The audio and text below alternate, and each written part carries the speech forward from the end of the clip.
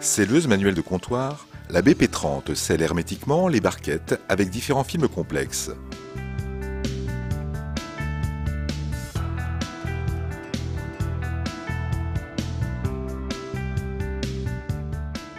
La régulation électronique de la température permet la découpe et la soudure simultanée du film. L'outillage standard double format est d'une grande simplicité d'utilisation.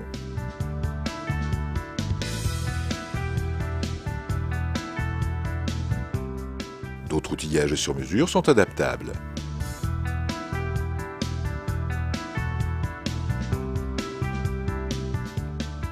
Avec les mêmes caractéristiques de soudure, la BP40 est dotée d'un outillage pivotant adapté aux barquettes standards 250 g et 2 kg.